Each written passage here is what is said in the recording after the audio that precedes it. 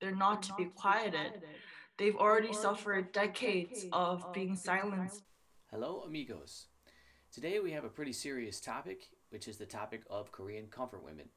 If you've spent any amount of time living in Korea or if you've read about Korea, you've probably run across this euphemism of comfort women. The term comfort women is used to describe women who were forced to be sex slaves by the Japanese Imperial Army during World War II.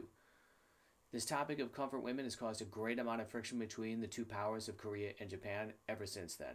But that's enough for me. Let's listen to Hannah, who is one of my most talented former students here in Korea, and she's someone who knows a great deal about this topic. Basically, I started taking interest in the topic when I was in middle school because I've always been really big on human rights, and it's a very relevant issue in Korea as it was for the past, um, I'd say, three decades since this story started coming to light in the 90s. And after taking interest in this topic, an upperclassman named Iju, she actually introduced me to a museum called the War and Women's Human Rights Museum, located in Hongdae, which is in Seoul. And there I started volunteering as a docent, meaning that I guided visitors at the museum. Most of the victims came from Korea, which was a Japanese colony at the time. 80 to 90% is one of the estimates. And the comfort women victims included girls as young as 12 years old who were often kidnapped and they were trapped to work in these brothels that they called comfort stations where they could be raped by more than 30 men in a single night. I think sincerity is just the number one thing when it comes to apology from Japan's part. Um, I feel as if the apology should be incomplete and in full. Um, I don't really know why there should be any mention from the Japanese government as they have in the past, talking of some sort of benefits or profits that these former comfort women might have gotten because in the end most of them all they had what gotten out of their time at in comfort stations was trauma and pain.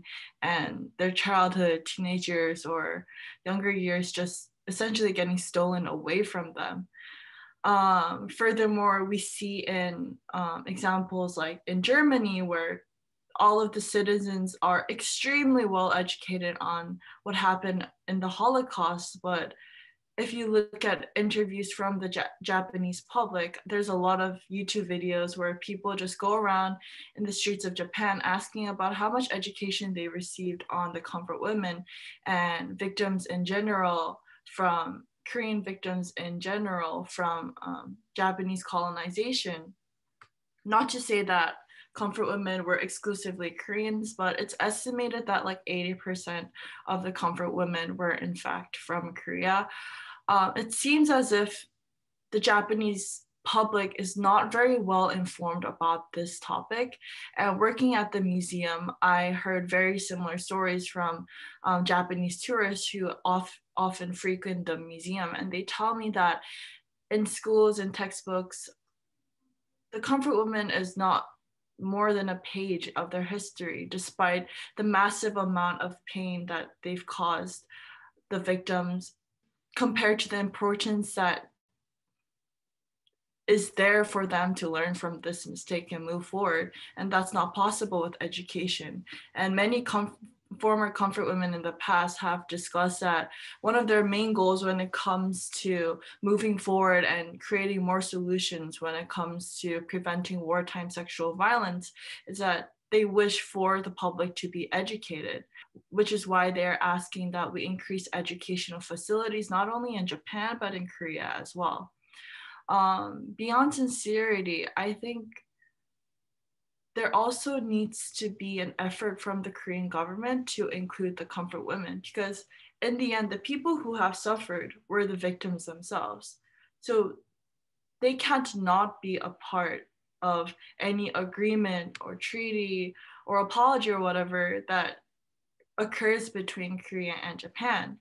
But the reason why um, many Koreans and the court believe that another apology needs to occur is because back in 2015, the victims were not part of the conversation at all. It was just a conversation between the governments. And the pain didn't happen to the government, the trauma didn't happen to the government. So it's actually a bit outrageous if you think about it the fact that they weren't included in the conversation so i think a really important aspect of an apology is were the victims involved were the victims involved in reaching this agreement?